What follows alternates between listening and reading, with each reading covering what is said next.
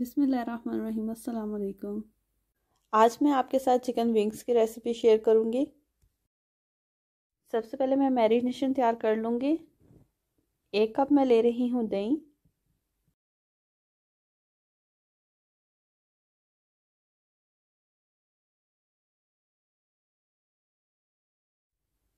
आधा कप इसमें मैं शामिल करूँगी ऑलिव ऑयल और इसको मैं मिक्स कर लूँगी।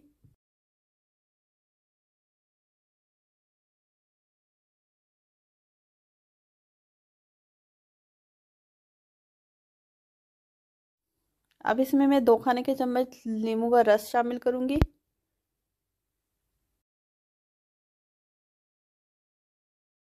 एक खाने के चम्मच इसमें मैं डालूँगी लहसुन अदरक का पेस्ट। इसको मैं मिक्स कर लूँगी। अब इसमें मैं मसाले शामिल करूँगी। एक चाय का चम्मच कुटी लाल मिर्च। एक चाय का चम्मच लाल मिर्च पीसी हुई। डेढ़ खाने का चम्मच नमक और थोड़ा सा लाल रंग। मैं बहुत कम मसाले इस्तेमाल कर रही हूँ, आप चाहें तो अपनी मर्ज़ी से मसाले बढ़ा सकते हैं।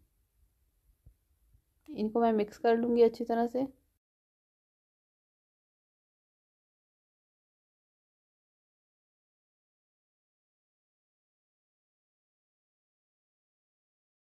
आखिर में एक खाने का चम्मच इसमें मैं डालूँगी कसूरी मेथी और इसको भी मैं मिक्स कर लूँगी।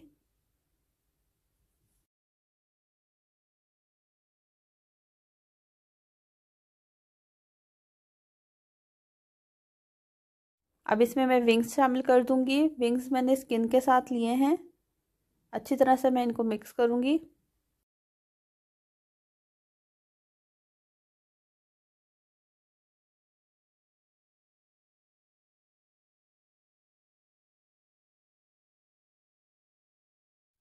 विंग्स मैंने अच्छी तरह से मैरिनेट कर लिया है। अब इसको कवर करके मैं पूरी रात के लिए फ्रिज में रख दूँगी। विंग्स मैंने निकाल लिए हैं फ्रिज में से। अब मैं इनको बेक करूँगी। आप चाहें तो इसको डीप फ्राई कर लें और चाहें तो इसको ग्रिल कर लें।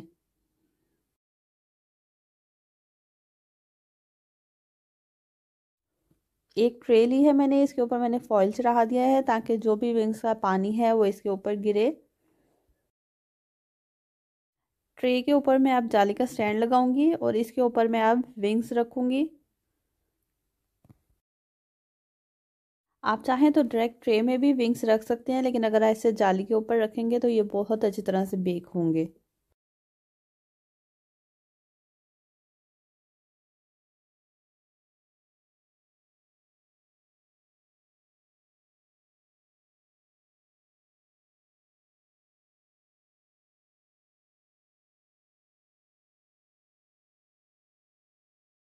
बेक करने से पहले थोड़ा सा मैं इनके ऊपर ऑयल लगाऊँगी।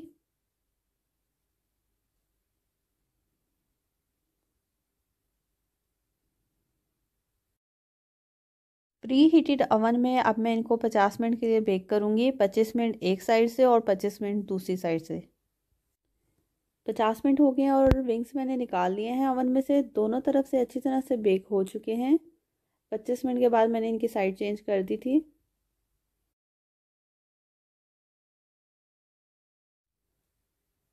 चिकन विंग्स तैयार हैं, मैं इनको डिश आउट करूँगी और आखिर में इसके ऊपर मैं ड्राई पार्सले और चाट मसाला छिड़कूँगी।